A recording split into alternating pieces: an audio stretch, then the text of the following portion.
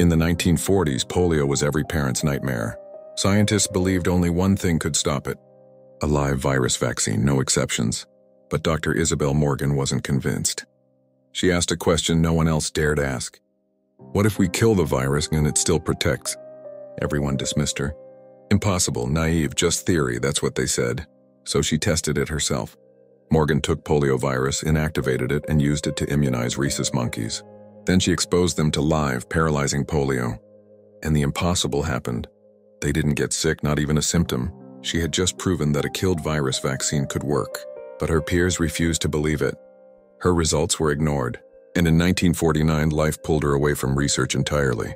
A few years later, Jonas Salk used the same approach and became a global hero by ending polio. But none of it would have existed without the woman who proved the idea first. A forgotten architect of the polio vaccine. Long before the world listened. Real people, impossible choices, true courage. This is the Hero Archive.